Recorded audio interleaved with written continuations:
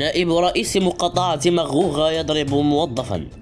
طلب عدد من المستشارين بمقاطعة مغوغة رئيسها بتقديم توضيحات وشرح ما يحدث داخل مقاطعته بعدما تسربت أنباء عن أحداث غير طبيعية شهدتها مكاتبها خلال الفترة الأخيرة.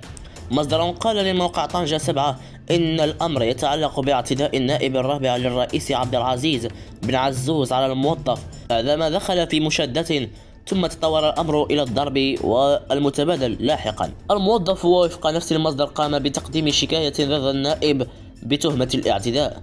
في حين تحولت الواقعة إلى مادة سخرية وسط المستشارين وفعاليات جمعوية محلية شبهت ما يحدث بصراع الديكة